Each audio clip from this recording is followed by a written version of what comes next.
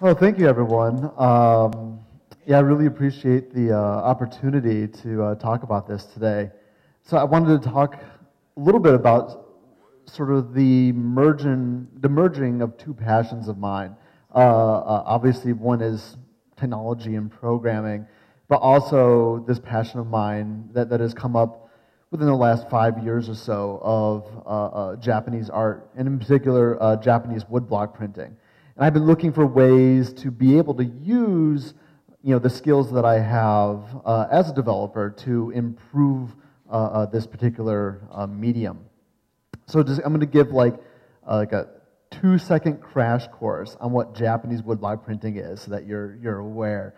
So it's this art form that was uh, uh, created in Japan during from about you know the 1600s to the uh, uh late 1800s, and this is probably the most famous woodblock print that I'm sure most of you have probably seen somewhere. It's on like mugs and you know mouse pads and T-shirts, and uh, uh, it's uh, Hokusai's The Great Wave.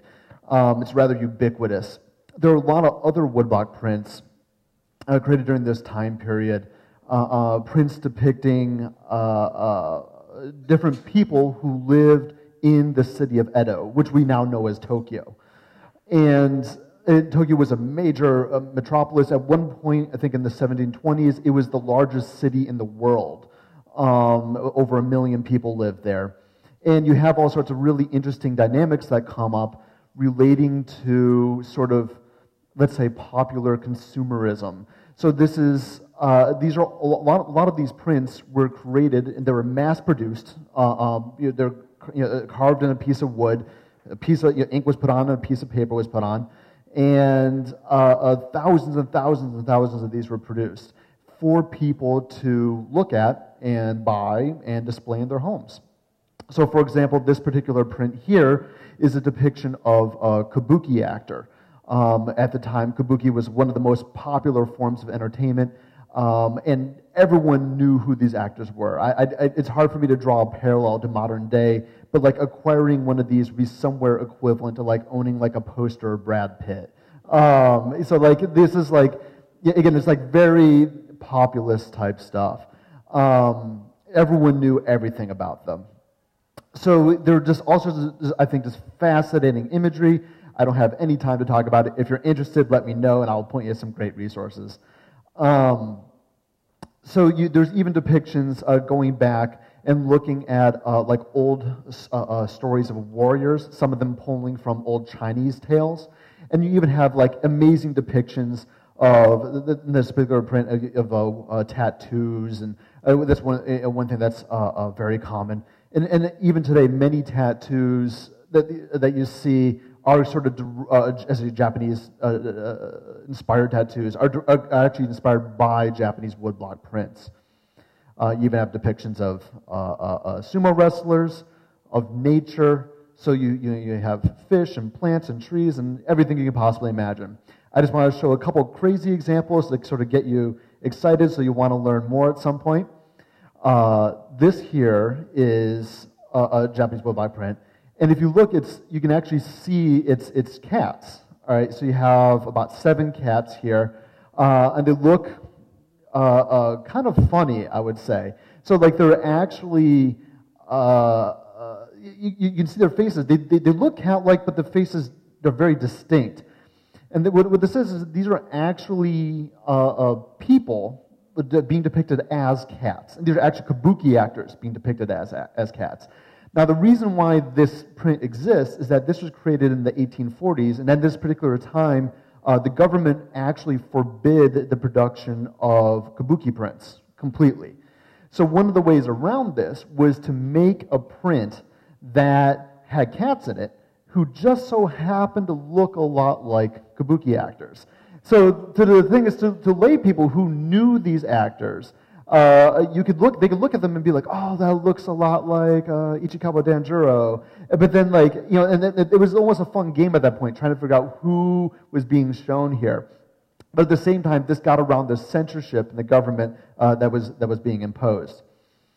Um, so this is another print I wanted to show. Uh, so I just want to zoom in a little bit here. So you see this, there's a face here a man's head. And you see the man's head is actually, if you look closely, is made up of bodies. It's people's bodies layered in here.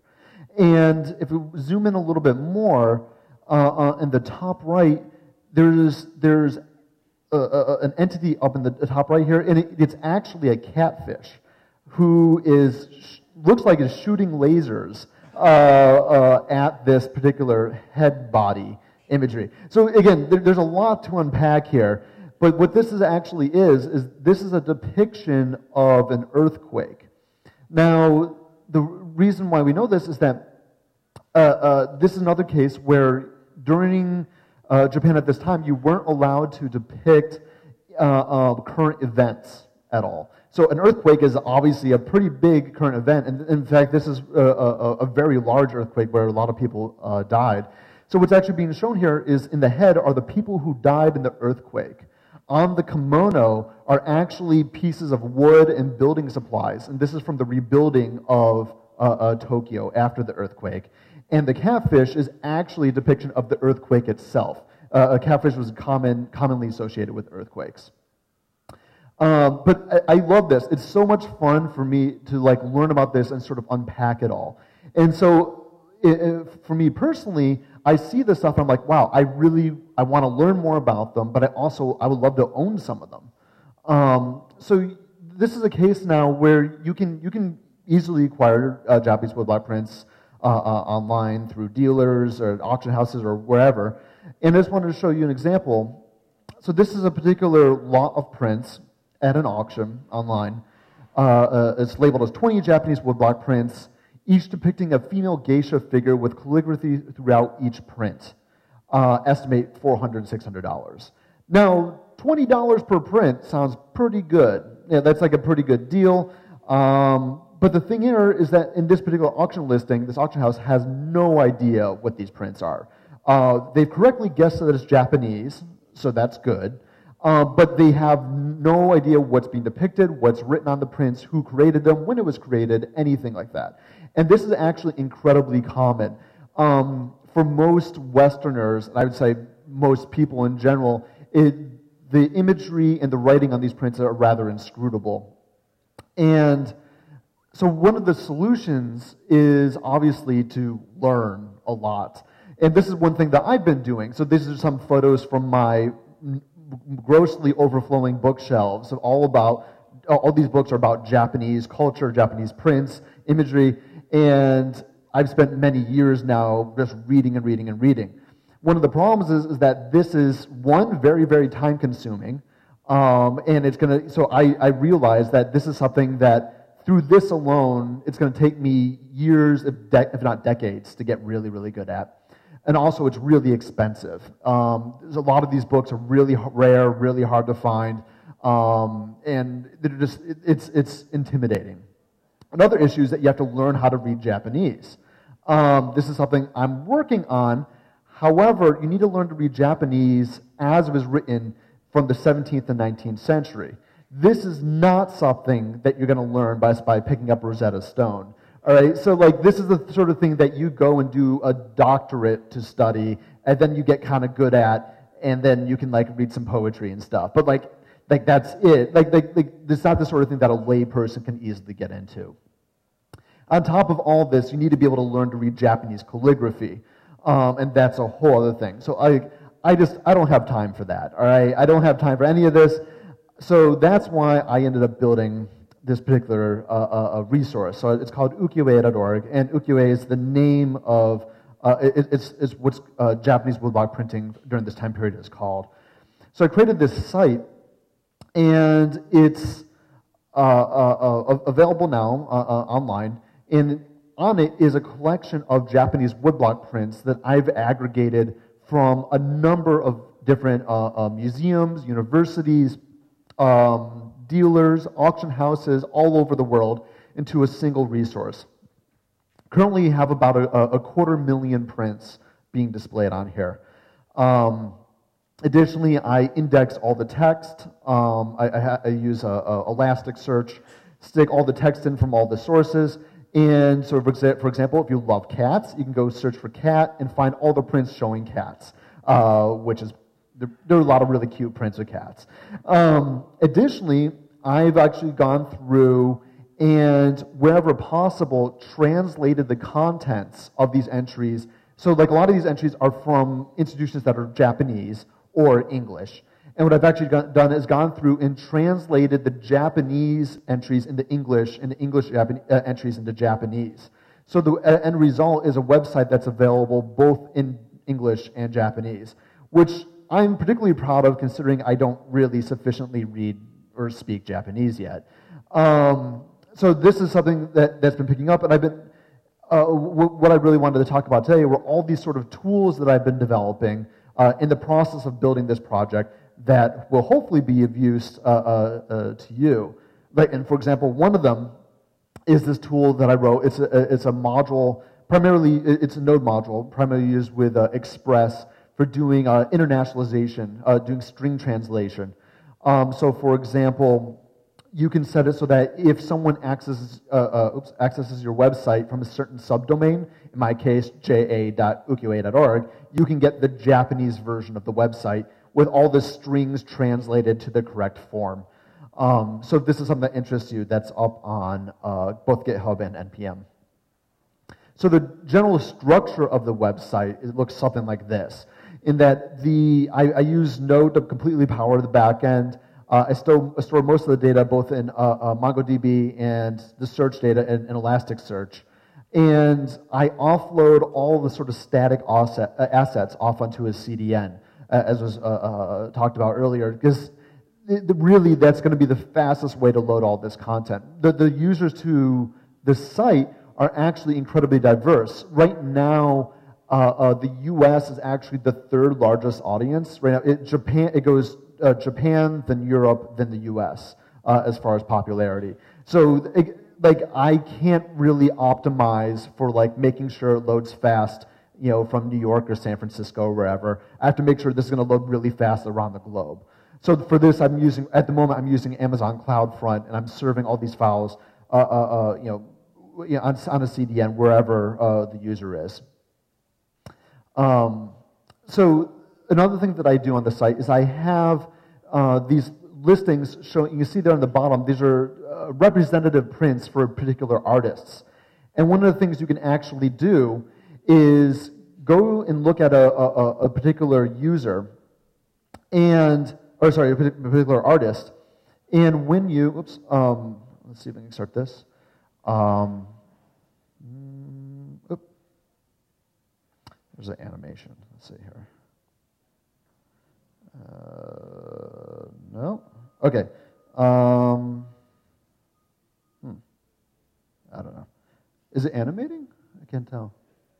Oh, there it is. Okay, cool. So, sorry. So, so what you can do is you can actually move your mouse uh, and scrub through all the images, or not all, a, a, a, selection of prints that that particular artist has designed. Um, I'll just do that again. Because like one of the things that I've found is, is tricky is getting to really, an artist potentially, in this case, this particular artist has made 16,000 prints. It's kind of hard to really understand like what the full scope of an artist's uh, uh, work is. So again, so I made this so that that way you can just quickly uh, uh scrub through and be like, oh, okay, I can kind of see this person's making a lot of like nature imagery, landscapes, uh, things of that color, and they all have this particular color scheme. You can get a, a quick sense. I released this as a jQuery uh, plugin, and you can uh, find that up on my GitHub. So one of the major issues here, though, is finding ways of collecting lots and lots of woodblock print data. Um, this is really hard, and actually goes in really well with the talk earlier, uh, uh, uh talking about collect, you know, uh, interacting with the, you know, the camping websites, because there are very, very similar problems here, and I actually tackled it in a very similar way which is to do the crawling using uh, Phantom.js. Because um, one of the issues that kind of comes up in a lot of these websites, so the, again, these museums, universities, uh, uh, wherever, is that a lot of these websites are made very, very poorly. Um, I can't emphasize that enough. Uh, it's, this is like, like a lot of these um, sites seem to have been made back when like people were like, oh, the internet superhighway, let's make a website. That sounds like fun. And then it's like, and then it does 20 years later, the site's still there. And then, um, but it's great because, well, I mean, the thing is that a lot of these sites, it's the only way to get these images, so you kind of have to deal with it. Um, so I created a, a particular framework which is very, very flexible and is designed to be able to easily scrape data and images off of like search results uh, uh, uh, uh, from a particular site. So in this way, what, what, it's able to do is it behaves like a normal user. It can go, it can perform a search, click through a result, view the result, download the images and data, go back, and keep clicking through and going back and, and collecting all the data off the website. Um, so in this way, it ends up being very, very flexible, and it's, I, it ends up with this sort of crazy snake-like chain of processing that all the data goes through, where I end up using you know PhantomJS to do the, the navigation. I'm saving the data, I'm processing it, turning the XML files. I store the data into uh, uh, MongoDB. I process the data even more, turn it into records. So I have like artist records and images, and then correct the information when it's all done. Uh, so this, you know, it ends up being a lot, a lot of work, and this is the sort of stuff I've been spending a considerable amount of time on. So I just wanted to give you an example here. This is uh, an actual script. This is one of the, th this is the, the code uh, that is used to, um, uh, uh in this case, scrape uh, my, the personal ukiyo website. And the reason why I made this was to be able to test it and just so I could scrape my own website and verify that it was working correctly. Hopefully my website was going to be down during the testing. Um, but the, uh, so you can see here that the, the full logic for scraping the entire website is only about seven lines. Um, and most of that is just the XPath uh, selectors. Uh, just to give an example of some of the data that kind of comes out of a page. Um, so this is like a full dump of the, the, just the JSON that comes out of, in this case, a particular artist entry um, that I scraped. Um, all this is up online. Uh, so I, right now, I, am very bad at naming things at the moment. I'm calling it Stack Scraper. Uh, but if this is something that you're interested in, um, the, the full framework for all this scraping is up on there using PhantomJS. And all the individual scrapers I've written for scraping the individual websites are up there as well, uh, up on my GitHub. Now, one of the things that I, one of the reasons why I built this website is that I was really interested in uh, uh, uh, using some of the things that computers are just really, really good at that, that humans aren't very capable of. In this case, one of the things I was really interested in doing was finding ways of doing image similarity searching. So what this is, uh, and, what I'm, I'm using, at the moment I'm using one particular technology created by this company called TinEye called Match Engine. And I've written a node module for interacting with their API. But what it's capable of doing is that if you have a print, it's able to find the same print in every single institution that has it. So in this case, because since they're prints, there are multiples of them. They're, they're, they're produced in the hundreds, if not thousands. And so any single print, there may be multiple copies around the world. So there might be one in the British Museum, here at the Met in New York, over in Japan. And so what this is able to do is it, it's able to completely ignore all the sort of metadata that might be associated with the image, which is frequently wrong, and instead able to just look at the images and see that these two are in fact similar, and so as re- and be able to return the results and say like, hey, these all look really, really similar. They're probably the same thing. A cool part about this particular te- technology is that it's able to even it's even able to do stuff like uh, you can see these prints have color bars in them, and like one of them is actually black and white it's able to completely ignore that and it's able to find uh, uh, the similar images even with taking that to, into account. It's even able uh, to handle cases like this. So this is a case where this is a two-panel print that was actually put in the wrong order. It was put backwards, um, and it was able to find it in the correct order at another institution.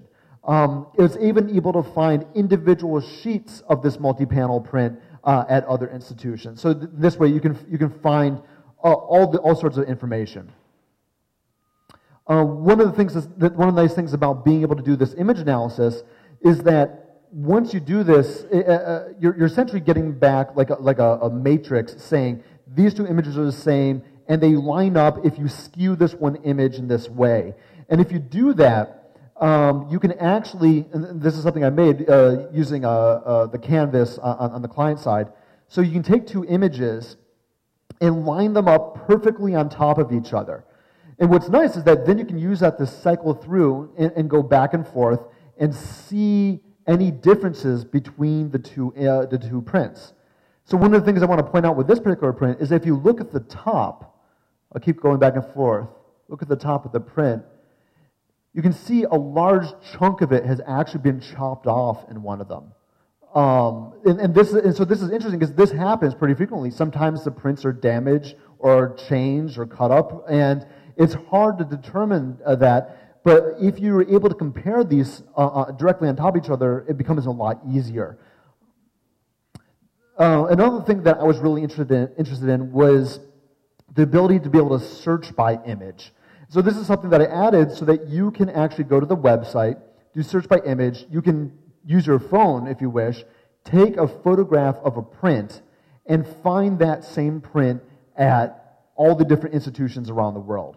So this cuts down the time to research from hours, if not days, down to just seconds. Since you're able to just take a photo now and find the print and find the, all the information about that print wherever, whatever institution might have it.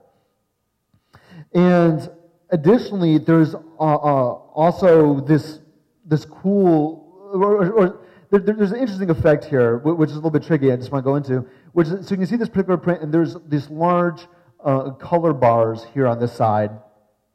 And it was, able, it was able to find the same print at other institutions. However, it also found the, another print at the same institution, but it's the wrong print. And the reason why it matched is because it's, in this case, is actually matching the color bars. It's not matching the print itself. So this is this is one case where you know with some training and uh, you might be able to improve the image recognition technology. Uh, one of the things that I've been doing is I've been working on building uh, uh an application. In this case, it's a mobile application for doing uh, image cropping. So what you can do uh, is, you know in this case on your phone go load up a bunch of images, go through each one, crop them down to just the print, and remove all this sort of color bar cruft. Now, I, I built this for two reasons. One is I wanted to be able to crop the color bars off, but also I wanted to have something to do on the subway uh, while I was riding around here in New York City.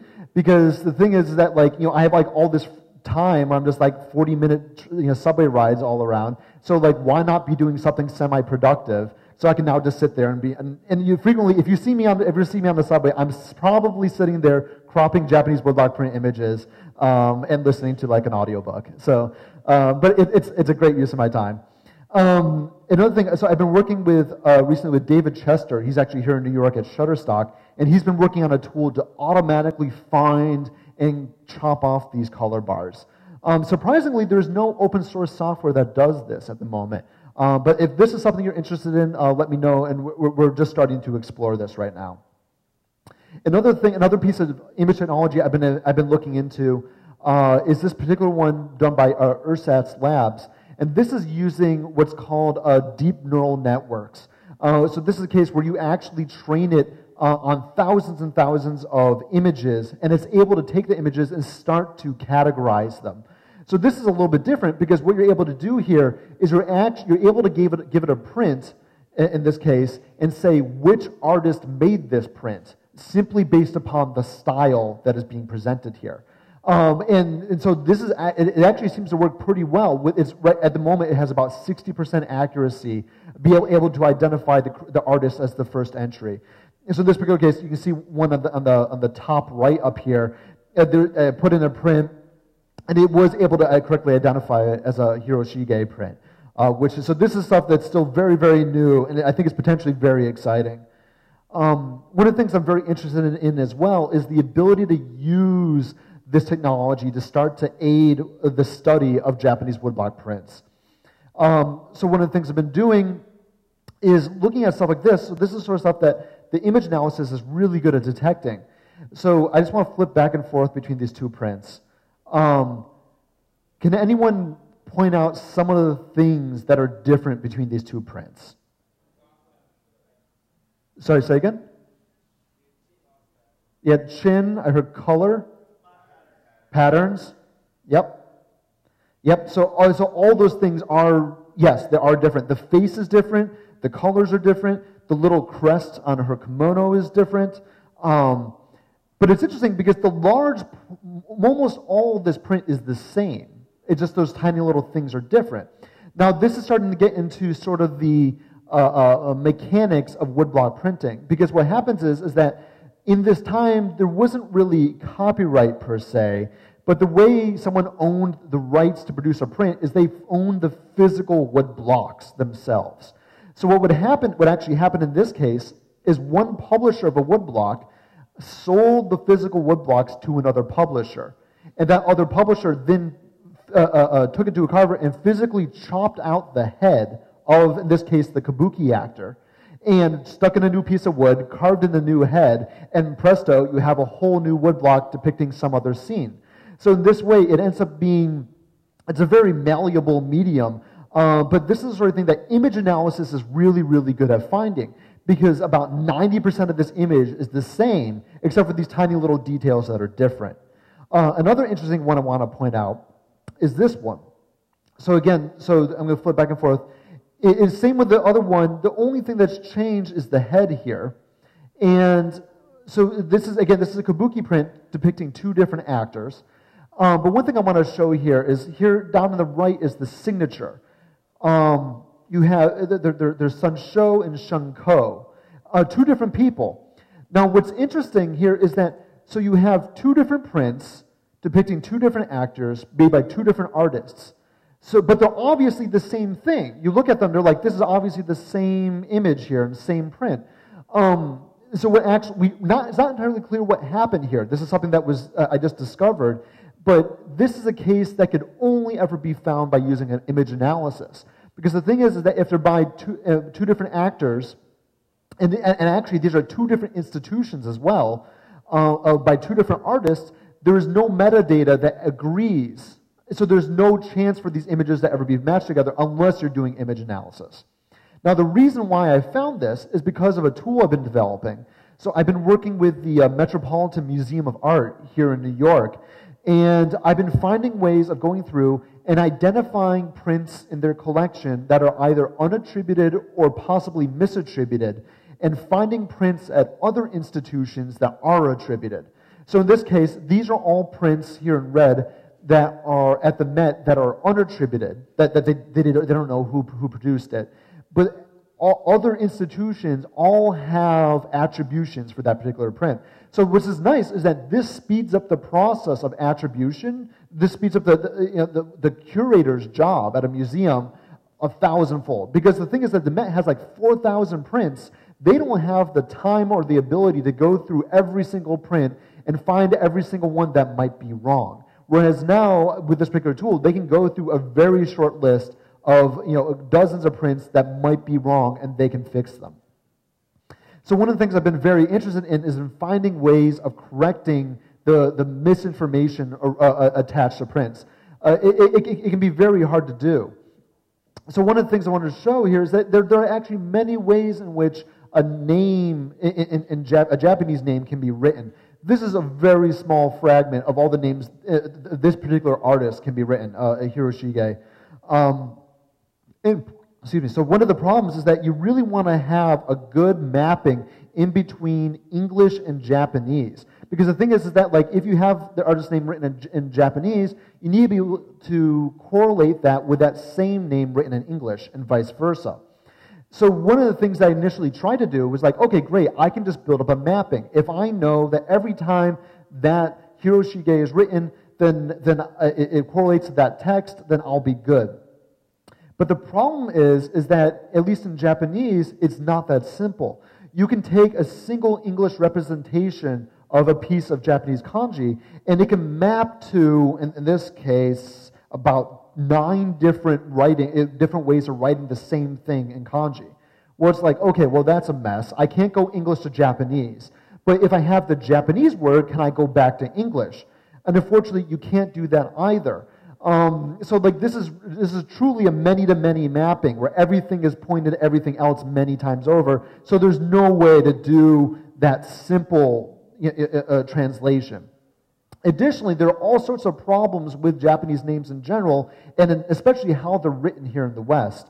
Um, just to point out a couple wrongs here. So, like, the, the, the thing is, is that the, with Japanese names, it tip, traditionally you would write them a family name first, given name second. But in the West, there's a lot of confusion regarding that. Sometimes you write them one way or the other. Um, they forget to leave off all the important uh, stress marks and the vowels. Um, there's no way to correlate which part of the name correlates to the Japanese portion of the name. And especially, like, even when you have a nicely formatted Japanese name, it's not always clear which part of the name is the surname versus the given name. You don't know where to split it into its two parts. Um, so I've written some node modules to fix all this, uh, which are probably of interest to a very small number of people. Um, but I, am very, very proud of them. Uh, uh, uh, one of them was, was a module created by another person that I helped contribute to. Is a module called Hepburn, which allows you to take an English name and convert it into a phonetic uh, Japanese alphabet. Uh, another one that I wrote was this one called uh, which uses this really cool Japanese name dictionary and is able to find uh, Japanese names both in English and Japanese and figure out if there's a surname or a given name.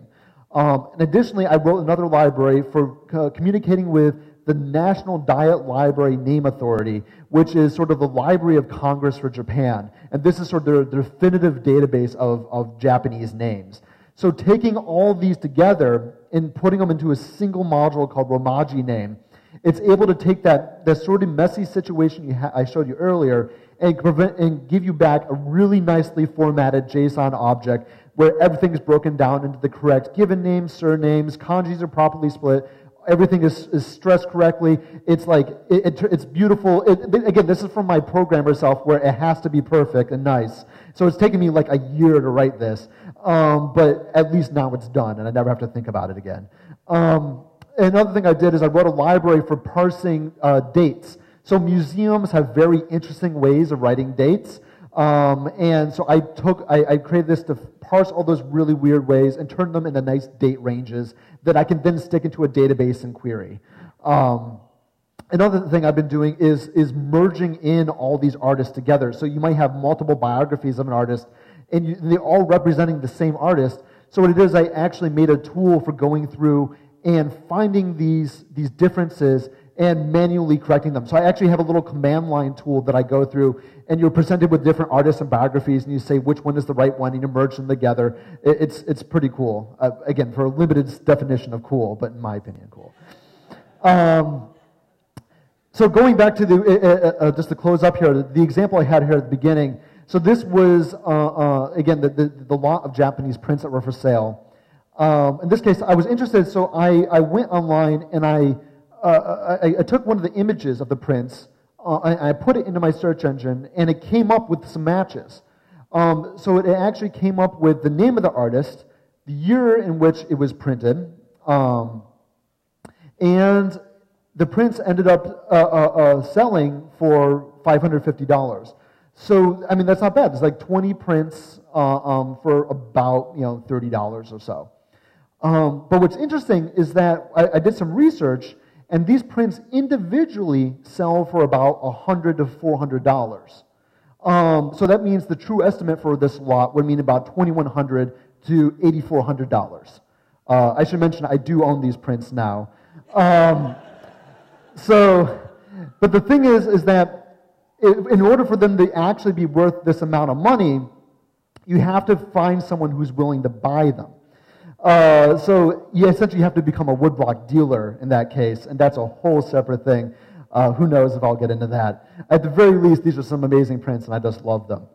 Um, so I just want to close out here with a, really brief note. I wrote about this just recently, a couple weeks ago. So this is my this is my side project, my hobby project and I've been working on it now for a, a couple years.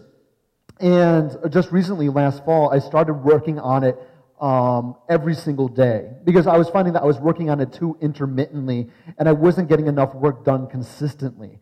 Um, so what I did was I made sure that I would work on it at least a little bit every single day. I would write code every day. It would have to be up on GitHub. And so that way I was constantly making forward momentum. And this actually ended up working out really, really well for me. And I've, as you can see, I've, I haven't broken my streak yet. I'm, I'm some, I think about 160 days in or so. Um, so it's, it's, and I've gotten so much work done in the last couple months. It's just completely dwarfed what I've gotten done before. Um, so this is something I just want to recommend because it's, it's actually really changed how I've done, uh, I've been able to balance uh, working on this with my job at Khan Academy and my personal life and all these things. So it, uh, I, just, I just want to bring that up. If you're interested in this, um, the website, the, uh, there's ukiyo-e.org. I've actually written some uh, academic papers that I've been publishing as well on this particular uh, uh, technology. You can find them up on my website, and all the code for this is up on my uh, uh, GitHub. Um, so yeah, if you have any questions, I'll be around and I'll be at the party tonight as well. So yeah, thank you.